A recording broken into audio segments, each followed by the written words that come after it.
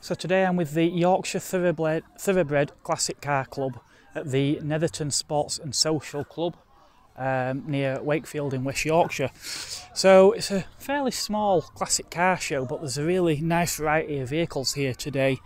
Um, so we're going to have a bit of a tour around, take a closer look at some of the cars that are, that are here today on site. Some I have seen before at other shows previously, but uh, also there's quite a few interesting cars here that, that I've not seen before, like uh, a Cortina with an arm sticking out at the back. I haven't seen one of those for ages. The arm is not the Cortina. Or uh, things like this 1997 Mark 1 Renault Laguna, another rare sight these days. So without further ado, I'll uh, change the camera angle and we'll have a look around see what we've got.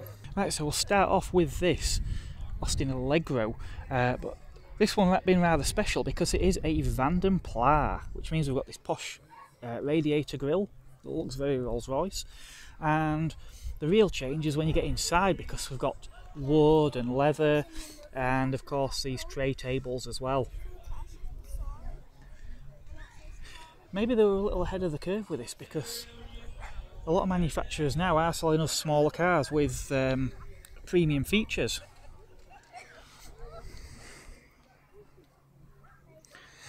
Next to that we have a Volkswagen Beetle. But no ordinary Beetle because this one has had its roof chopped off. I don't really know Beetles very much. I would presume this is probably a, a later model. And of course, we've got my car that I've came in today, the uh, Megane 1.6e Fiji 1997 parked next to a Jaguar XJ6. I've been speaking to the owner. I believe he said it was a 2006 model. Uh, really, really nice looking car. Now, a car I was quite excited to see when I pulled in this morning is this 97 Laguna, so it's the same year as my car, uh, very similar mileage as well, but the owner has had this car from being brand new. It's a uh, 1.8 engine, um, I believe in RT spec, so fairly uh, middle of the range but the car is in uh, really really nice condition and uh, yeah and it's got a few nice little accessories as well like for example front fog lamps from the dealer uh, and the owner has had I was speaking to he's had quite a few Renaults over the years so um, yeah he's got quite an extensive back catalogue of brochures and, and Renault knowledge also like myself, a fellow uh, IAM member as well. Also we've got some other cars here, such as this Morgan. It always throws me because I look at these and think that it's a uh, an older car, but in fact it's newer than my car or indeed that Laguna that we've just had a look at. That's not the only Morgan here though, we've got this, this nice green one as well, uh, which looks really nice. I do like that uh, Goodwood sticker in the window as well. And a very, very beige looking leather interior.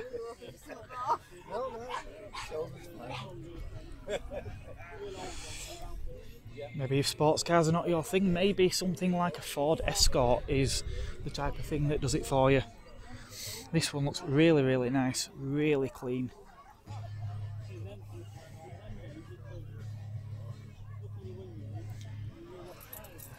As you've probably gathered, though the car may look fairly standard, that Lotus engine probably is not. So we've also got some pre-war cars like this lovely Austin 7 here. I've been talking to the owner Andrew who uh, hopefully I'm going to get a little bit more of a closer look at this car at some point because I'll admit my pre-war car knowledge is pretty shambolic at best. But uh, yeah, this car looks in excellent condition as well. Sadly, um, a lot of the knowledge for these pre-war cars is dying off um, with younger people perhaps not taking as much interest in learning about these cars. Obviously, cars are often fueled by nostalgia for us, and uh, we're getting to the point now where even people's grandparents perhaps didn't have these cars. And we've also got a Morris 8. We've actually got some information here. So it's a 1935 Series 1 sliding head, which does that does that relate to this top? Who knows? But uh, yeah, really, really nicely finished. Uh, both of these cars actually look in exceptionally good condition. Oh, I do like that as well. No signals. But have we even got trafficators? No, I can't even see trafficators on there. So must be hand signals. Probably a little bit more, maybe not quite into my area, but a car I, I could actually see myself owning is something like this MGB GT. Again, this one does look exceptional. Looks really, really nice in uh, dark green with this beige leather interior as well. And again, this looks a really, really nice condition car. Obviously, we've got the um, club sticker in here as well. And uh, Rostyle alloys.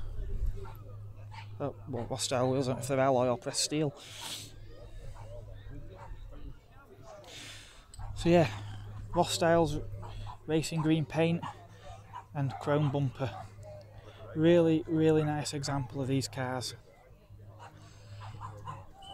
Is that an MG? Is that a TC? Again, my knowledge of cars this era is very, very, very sketchy indeed. I do have a die-cast model at home of one of these because uh, it was a car that my grandfather actually uh, always wanted to own, sadly never did. So something a little bit more modern is BMW 6 Series.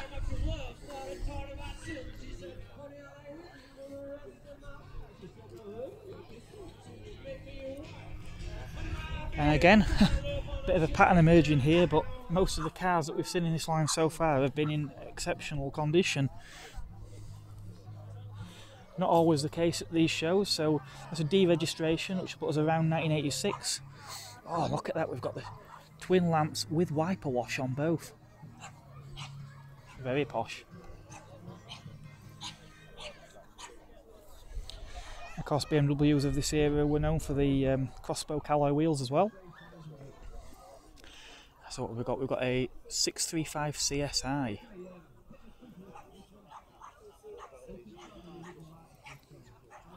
Lots of information on there as well.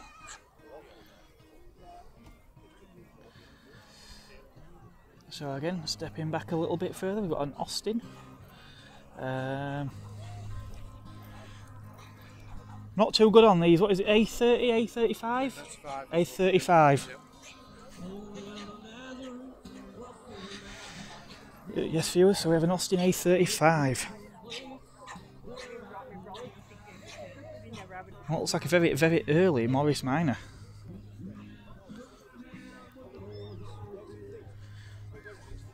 A few items for sale as well. And what else have we got in here?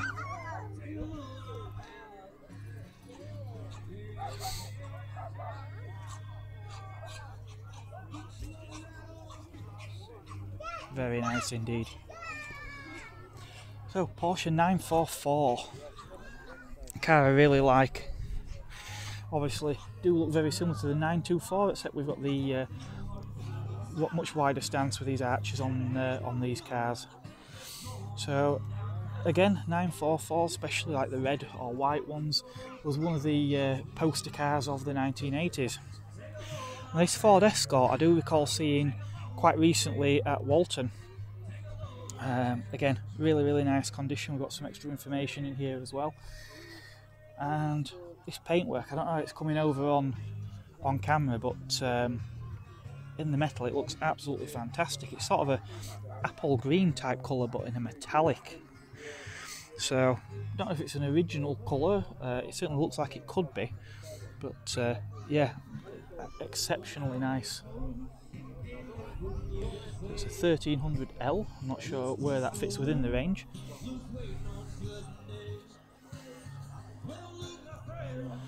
And we've even got a period radio in there on the uh, obligatory travel blanket. Oh, viewers, now a car that you may know by now will always um, get me excited. The Rover P5, not just a P5, but by the looks of those headlamps, the uh, twin stack, I imagine will be a P5B, meaning it's a V8. I really, really like these cars. Um, I have actually looked. I, I would love to own one. Uh, values are starting to creep now for, for quite a while. Um, they were really a bargain because people were going nuts for Mark II Jaguars, um, and the P5 went somewhat under the radar. But to me, I think these are actually much classier. There was a preserve of um, of uh, well, there were government cars, and even Her Majesty the Queen herself had a Rover P5B, which can be seen in the uh, British Motor Museum at Gaydon.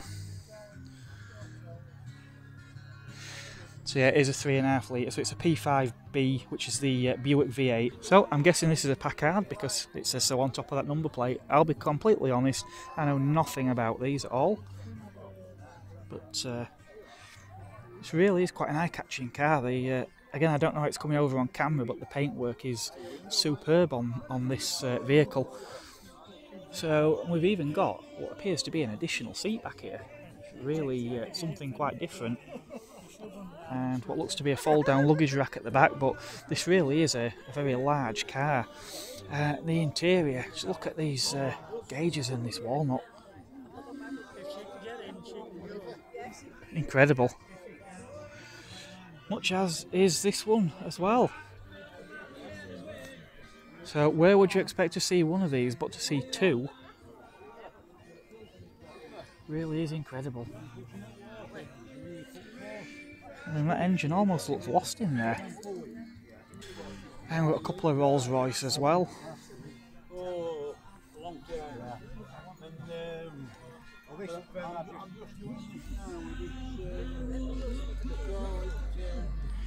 Uh, and the real showpiece of a car like this has to be those interiors.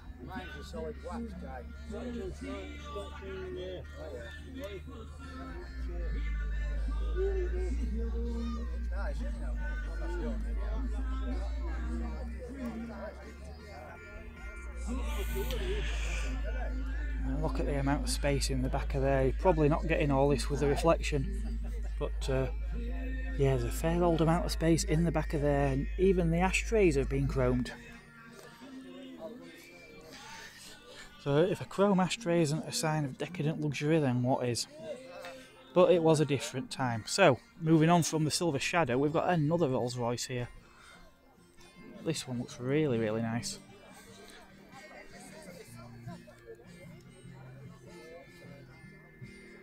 That definitely looks a comfortable place to be.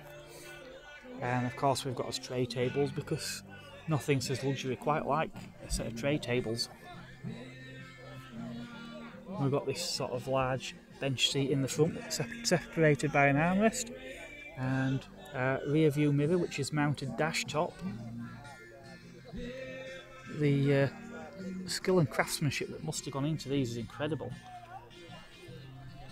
And of course, along with the spirit of ecstasy, we've got our Union flag.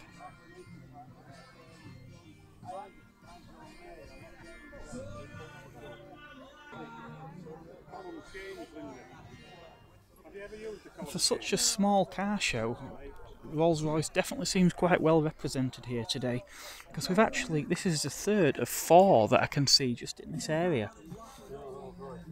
So coming a little bit, little bit more modern, you can see slight changes in uh, design here and, and, an airbag steering wheel as well. So we're uh, yeah definitely coming a little more up to date. Although in all honesty, Rolls-Royce design um, was always more evolutionary rather than revolutionary. So we've also got a Silver Shadow 2 in this lovely two-tone silver and blue colour. And again, much of the same. Lots of wood, lots of leather, lots of car.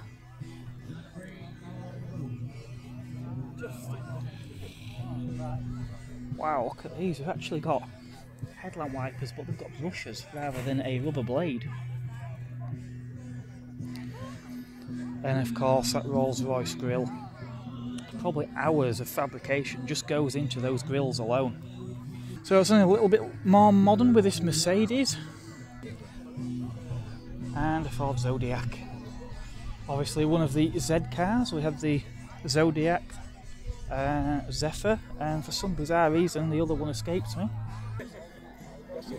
So moving on to the next row we have something a bit different here, we have the Simca 1204 Special.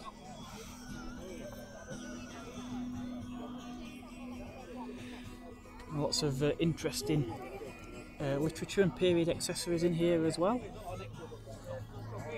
It's always nice to see.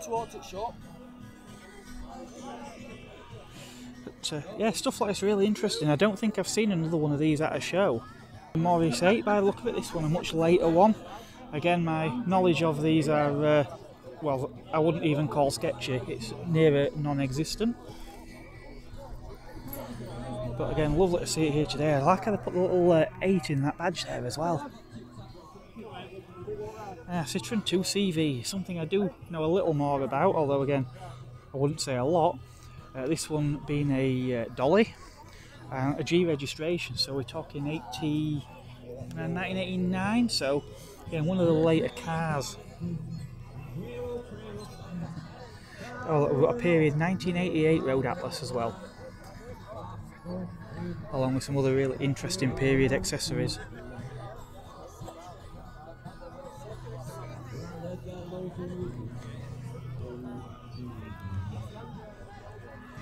So obviously the two CVs have gone through somewhat of a resurgence in recent years.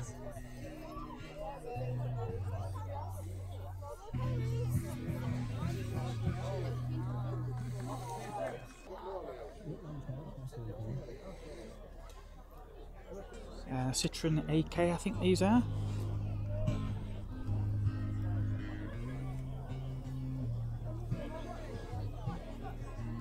Oh, just uh, something I do want to catch because I think it may actually be leaving and I haven't got round to that row yet.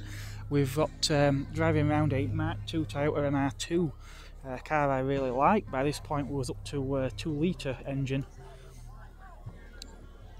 so a little larger than the uh, original Mark 1s but uh, Again, the car I remember very well from my youth. Always wanted to own one. So that's a hardtop with a sunroof. There was also a GT T-bar, which was quite a popular model. We've got a very early three-door Range Rover. One of these actually did feature in my uh, video from the British Motor Museum at Gaydon.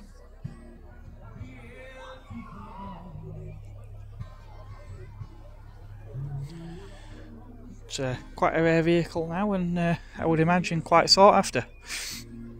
We've got a Triumph Toledo. That's what we've got, 1976 1300.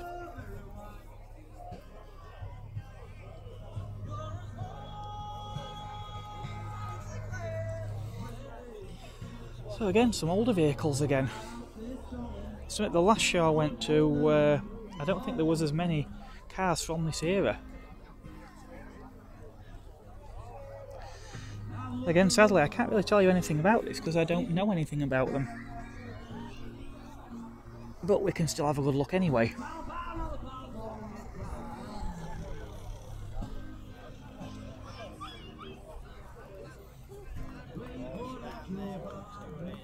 I think that says Austin 16. Now something that does look really interesting is this Morris van. Because uh, looks like we've got some interesting uh, kit in the back of there as well.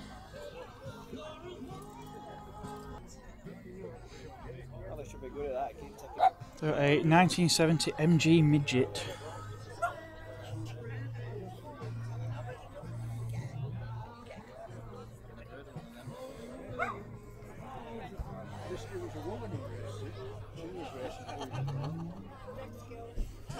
Most notable racing GMs were Archie Fraser Nash Molesley. So we've got another Jaguar here, and this one is a rather special power plant because we've got a supercharged V8 under there.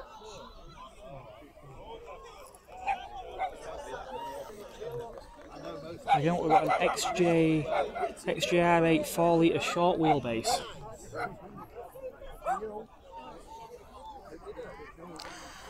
Actually, had a work colleague who had a V8, but I don't think his was a supercharged one. And an MX5, it's always nice seeing an MX5, this being a, a Mark II, but uh, always nice to see an MX5 at shows. These couple of Cortinas we actually featured at the uh, from the show in Walton. So we've got a uh, estate, which is an incredibly rare sight now. Well, as is a saloon, but perhaps the estate even more so.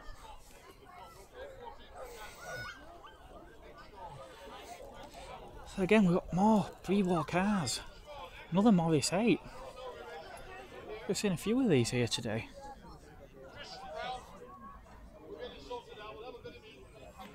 Eight horsepower.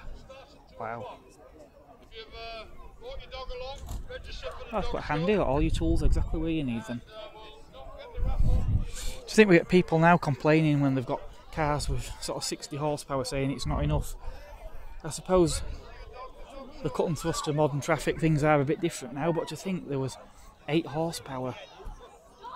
Look at this Rover Sports Saloon, 16 horsepower, 1945. Now I do like the old Rovers, of course. Uh, that, we've even got the Viking up on top. Look, Rover always were the uh, prestigious marque. Really, really nice to see. Not going to look inside. There's actually someone sat in there. So uh, we've got. Um, wow, this is a, something a bit different as well. So we've got a supercharged Ford F-150 pickup truck. Strange when you see these things stateside, they sort of look normal size, but when you see it next to a European car, they look absolutely enormous. Oh, another American carrier. We've got a Chrysler 300C. I remember when these came out, um, styling really did sort of stand out on these.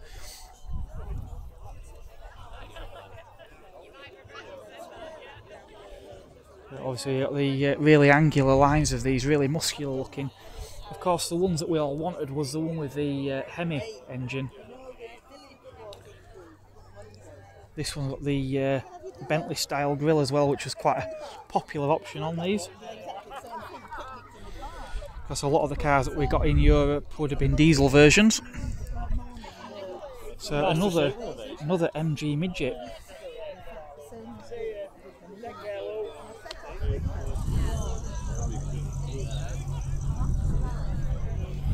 car that did catch my eye earlier on is this Ford Cortina.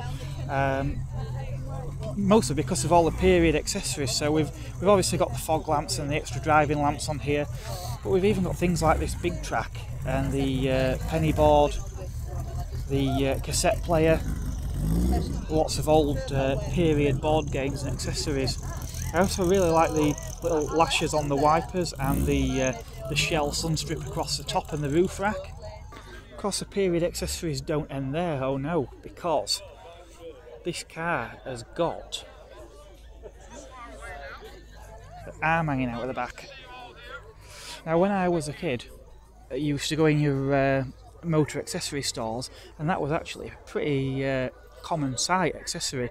You used to also get the little magnetic fingers that you could stick on the um, edge of the boot lid. The idea being it looked like you've got a body in the boot. But uh, yeah, strangely, we don't see those anymore, and it's something I hadn't really realised had gone away. We've got the uh, big antenna out at the back of there as well. I don't know if that's a radio aerial or a CB antenna. But look at all these stickers as well. A Cortina sticker in there, and lots of other very interesting uh, stickers as well. Fat Willie's Surf Shack. Again, used to see them all the time, and these stick on Garfields as well. Oh, and we've got our um, checked travel blanket in the back and a picnic set and the beaded seat cover. Oh, look at that. There's a cassette holder in there as well. Oh, this is fantastic. So we've got a um, period cassette holder and fire extinguisher there. And a radio, a fairly period looking radio cassette as well. The obligatory Rubik's Cube and the fluffy dice. In fact, not just fluffy dice, we've got a whole array of uh, stuffed toys in here. Oh, is that what I think it is in the back there as well? Need to be other side to see Look, show through glass. Yeah. Oh, that's fantastic. I've been in Cornwall in the past. Does anything get more 1980s than one of those? We went, I went years and years. Oh, we never went. It's Brilliant. So moving on to the next row, we've got another American uh, GMC pickup here. Um, obviously gone for the uh, rat look by the look of it here. Looking, uh, apart from those wheels which are incredibly shiny. Yeah, we've even got a big uh, exhaust stack coming out of the back. So what we got, Chevy 3200. Oh, and I do like the Heinz uh, Beans emblem on the door as well.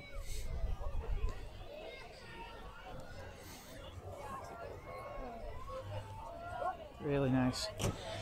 So another Morris Minor, this one being a convertible. Something again that's quite my ear is this uh, Nissan 100.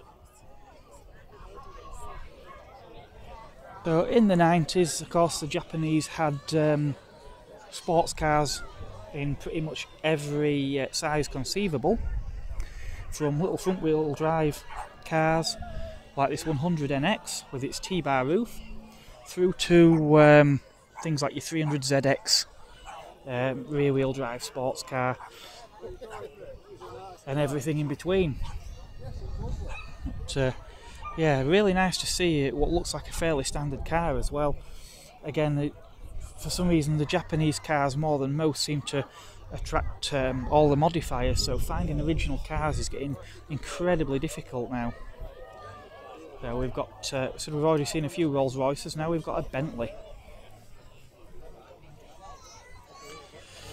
And just like the Rolls Royce, we've got all the luxury, but um, perhaps a little more under the bonnet. I do love that sign at the bottom, the uh, six and three quarter litre Brooklands. They could put 6.75, but no, six and three quarters.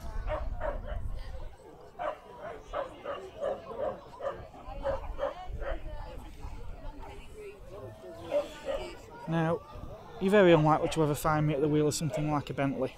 Of course, my end of the market would have been, uh, well, had I been driving in the 1980s, may well have been something like this Mark II Fiesta XR2. Of course, these were all the rage, and again, they've got the uh, obligatory 1980s spot lamps. But uh, with its 1.6 litre engine, um, yeah, the uh, these really were popular with um, particularly with younger drivers. Of course, as they got older as well, they would have been quite popular with um, with a lot of new drivers for their first or second cars, provided they could insure one, of course. For our final draw, uh, all the takings will be going to the Yorkshire Air Ambulance. We've got Uh, the there uh, really nice Triumph here. here at the front of the stage, so please give generously. Just a bit of loot to Again, not the first Triumph we've seen also today. Got our next band coming up soon. McShane and Short. We have got our next. Something a bit more modern for this uh, classic car show is actually a, uh, a Civic, but a uh, Jordan one. Now, I don't think this bodywork and tail lights and exhaust, in fact, I'm pretty certain they are not standard. but um, the Jordan model itself, um, yeah, I do actually remember those. Whether this is a genuine one or not, I couldn't tell you. Volvo P1800. Yep, sensible Volvo occasionally did do something that looked a little bit, uh, a little bit sexier, shall we say?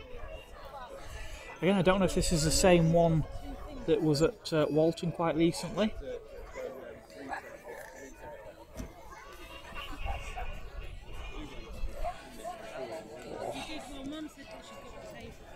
That actually, looks really, really nice. Volvo were generally always very sort of functional, but uh, those gauge clusters and that interior does actually look quite stylish. I like it very, very much indeed. Oh, but if it was a toss up, well, I don't know. Rover P6 3.5 litre V8S.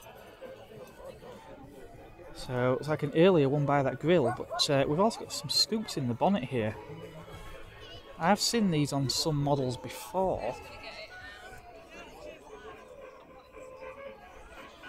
Of course, the P6 was um, a very technically advanced car in its day, with um, all-round disc brakes having inboard uh, discs at the rear, and the De Dion suspension system.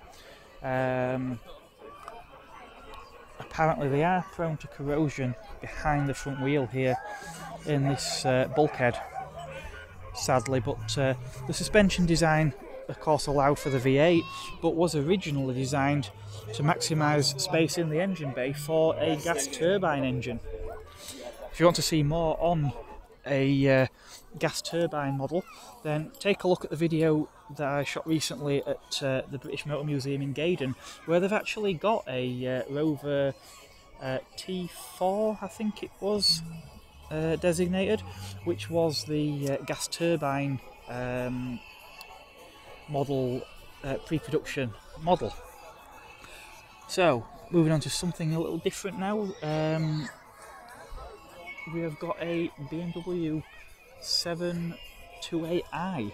So, presumably, again, I don't really know BMW, I'm guessing this would have been the entry spec if there is any such thing in a 7 Series.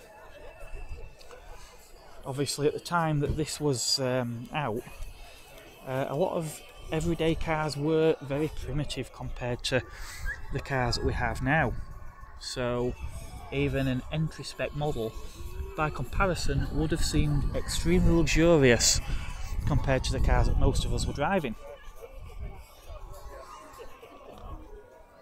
Another Citroen van, and a rather interesting display here as well.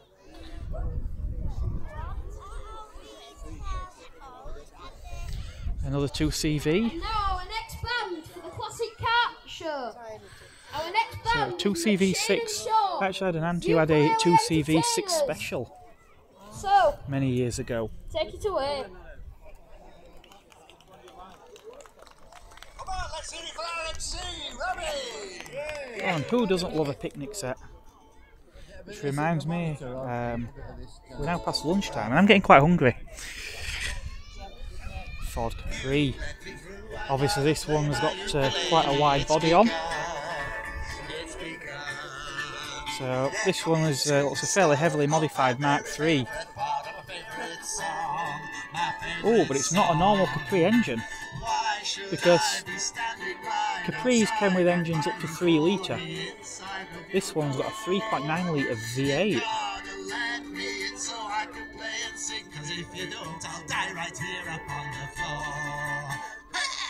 There we have it.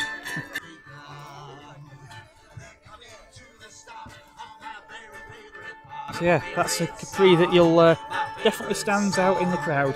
1980, 87, 88, 89, uh, MG Metro. Uh, again, I think this may well be one I saw quite recently at another show. And it's got the uh, alloys, not all of them had those. Some were on steel wheels. Uh, BMW M3, Triumph 2.5S in a state form. Very nice indeed, I do like that.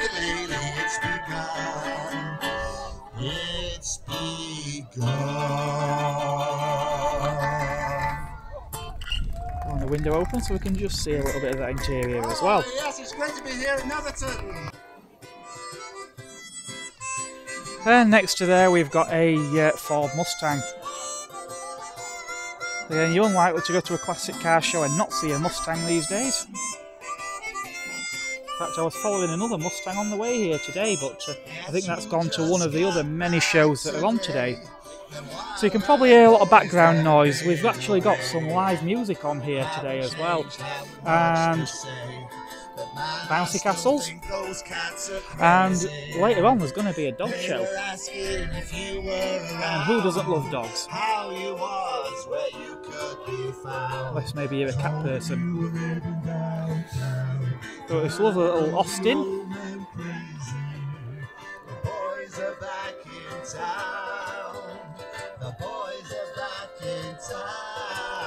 So Austin A40, so obviously looking quite a bit more modern than the A35 that we've already seen earlier on.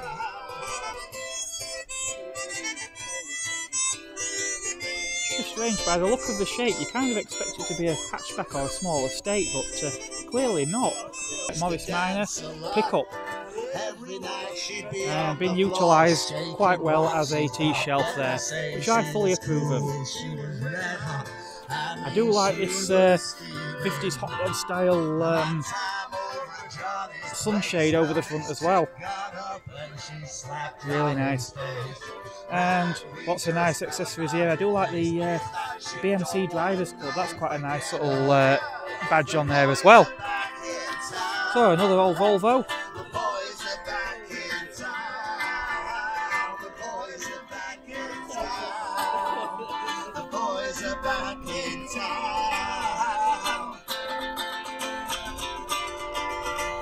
So again, an American, we've got a Corvette Stingray. Which really stands out in this sort of coppery orange colour. And again, we've got a T-bar roof. Means we can uh, get a nice view inside as well. It's really quite something. A car that does seem to have had a bit of a crowd around since I arrived is this uh, 1980, uh, 89 I would put that at, G registration, Peugeot 205 and looking at those wheels, let's check the badge as well, yes it is indeed a 1.9 GTI obviously based on the facelift car. And one of the quintessential hot hatches of the 1980s in fact I think when Renault developed the Clio um, obviously we got the 16 valve, and then shortly after the Williams, the 1.9 GTI 205 was the benchmark that um, that the car was um, intended to go up against. And strange, it actually looks completely dwarfed against the car that it's parked next to. Because uh, this Cadillac's absolutely enormous, as old Cadillacs generally were.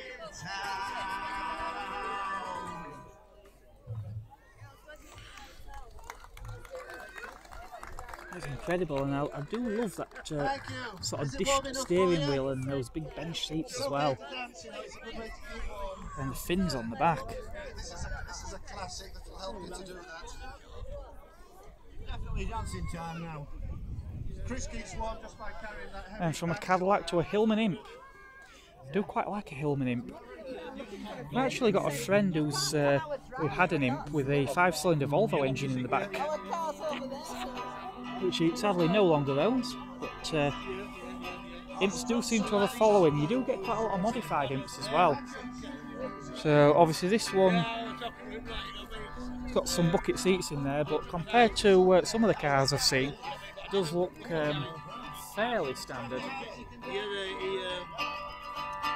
The and it won't take long. We're gonna do the twist and it goes like this.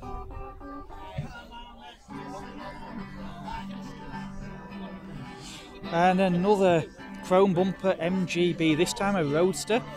Again in green and again with a beige leather interior. On a lovely walnut dash as well. Of course, when you think British sports car, this pretty much is the image that springs to mind.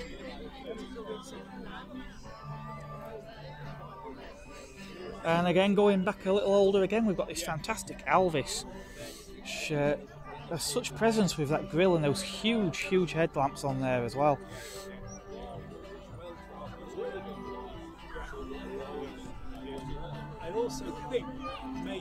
Uh, this uh, fantastic straight six engine there as well. Oh, and we've got suicide doors, look. Suicide doors. It's fantastic wood capping on top as well.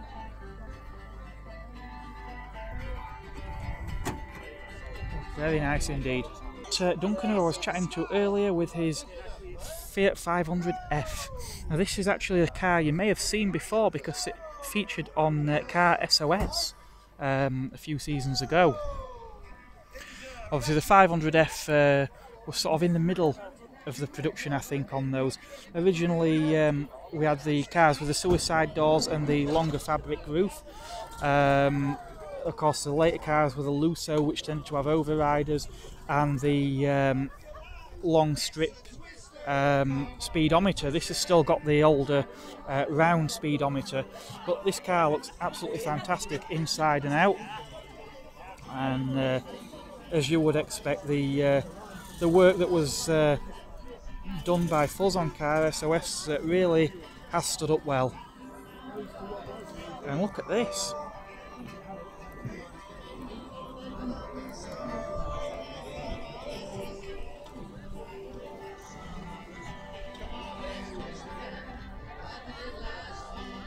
Superb. We'll try and get around these last few quickly because my battery is actually starting to. Uh, I've just been notified the battery is running low on the phone I'm filming with. So we're going to have to pick this up a little bit. There's not many left now to view.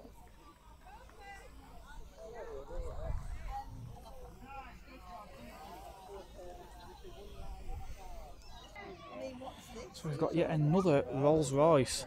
Obviously, this one uh, being a very, very early one by the looks of it.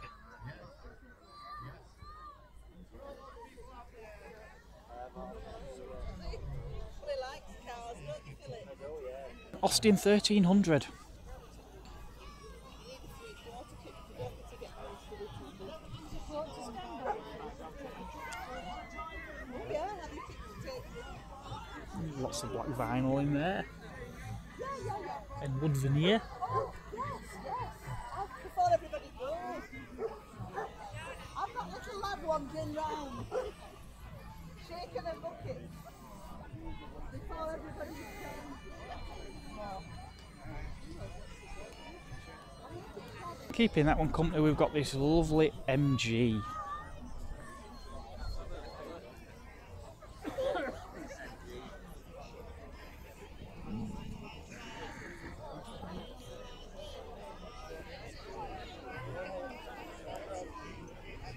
So it seems to be getting a bit busy around here now, and look, we've got all these dogs. So presumably, this may be where the dog show is about to take place.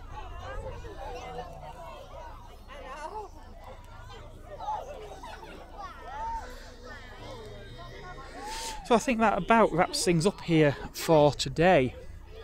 But uh, yeah, another thoroughly enjoyable day out. And we'll hope to catch up with you in the next video. Um, whichever that may be. I'm trying to think what events we've got coming up now. I'm not sure what the next video is going to be. Or it might be something different. It could be a road test review, perhaps. So with everything uh, covered now and the dog show looking like it's about to start some point soon, I think it's almost time to draw this one to a close. Now, if you have enjoyed this video, please do hit the like uh, button. Also, if you haven't already, please do consider subscribing. Um, that way you won't miss any of the videos that uh, are still to come. And it does also help the uh, channel to grow as well. The um, I did actually have a look the other night, and I think about 90% of all the viewers on recent videos have actually not been subscribers. Um, so, like I say, please do consider subscribing. It doesn't cost you anything to do so. Uh, until next time, look after yourself, stay safe, and goodbye from me for now.